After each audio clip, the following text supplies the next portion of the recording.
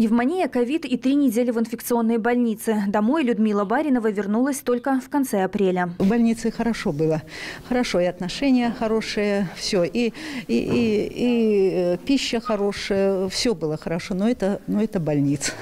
Я вообще за всю жизнь первый раз попала в стационар. Мне уже внуков, внуков привозили. У меня же, у меня же э, положение. Я со стационара пришла с отрицательными тестами. После короткого интервью Людмила еще несколько бывших коллег по диагнозу отправляются в полет. Полтора часа на борту барокамеры, уникальной в Беларуси. Две с половиной тысячи метров над уровнем моря. Умеренная гипоксия, проще говоря, нехватка кислорода, оказывается, бывает полезной. Гипервентиляция возникает, а учитывая, что э, действуем на весь организм, э, активация всей гормональной системы способствует открытию мелкоколлатеральной сети кровообращения. Опять же, это помогает в газообмене между легкими.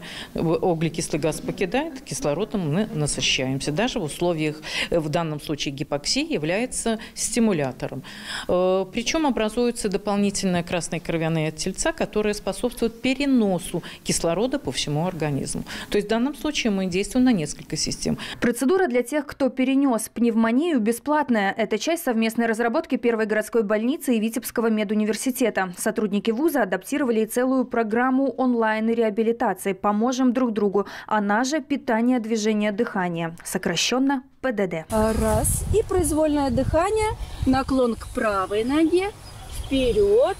К левой. К обычной жизни возвращаются больницы неинфекционного профиля. Так, с этого дня к своим прямым обязанностям вернулся областной онкодиспансер. Почти месяц 150 коек хирургического корпуса были отданы под пневмонии. С завтрашнего дня мы начинаем хирургическую онкологическую помощь в полном объеме.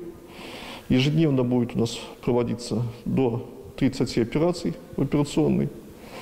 И э, все пациенты, которые ожидали последние три недели, в свою очередь, они все будут прооперированы. Для того, чтобы предупредить вторую волну заражения, естественно, необходимы некоторые противоэпидемические мероприятия, которые будут проводиться в нашем диспансере. У нас будет запрещено посещение родственниками. Сейчас в эпоху мобильной связи все могут пообщаться по мобильному телефону.